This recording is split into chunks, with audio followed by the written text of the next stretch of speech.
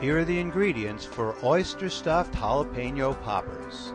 You'll need oysters, jalapeno chilies, bacon, and toothpicks. If you're using a gas grill, set the temperature to medium. Take a jalapeno, cut off the stem, and cut it in half lengthwise. Carefully remove the seeds and veins, and do this with all of the peppers. Make sure to wash your hands thoroughly after completing this step. Take an oyster and place it in a jalapeno half. Wrap it with a bacon slice and secure it with a toothpick. Do this with all the chilies. Then place the jalapeno poppers on the grill and close the lid. Allow to grill for about 2 to 4 minutes. Turn them over, close the lid again, and grill for an additional 2 minutes or until the bacon is cooked.